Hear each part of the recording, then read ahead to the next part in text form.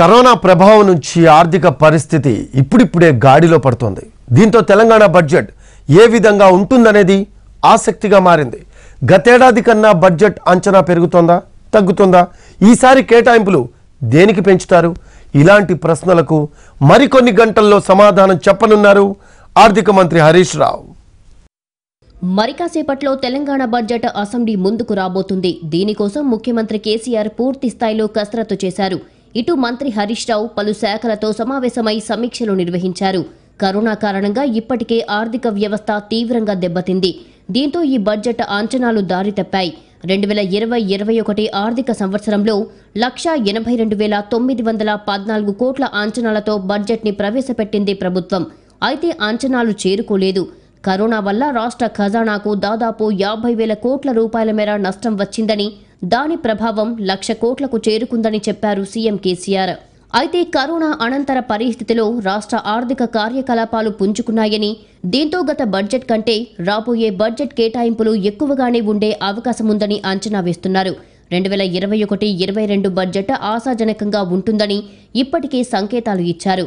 Budget అంచనాలపై CM ఇటీవలే ఉన్నత స్థాయి సమీక్ష నిర్వహించారు. శాఖల వారీగా అధికారులు తయారు చేసిన ఆర్థిక నివేదికలను పరిశీలించారు.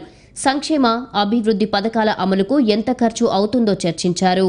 ఈసారి తెలంగాణ బడ్జెట్ రెండు లక్షల కోట్లకు చేరుకోవచ్చని అభిప్రాయం వ్యక్తమవుతుంది.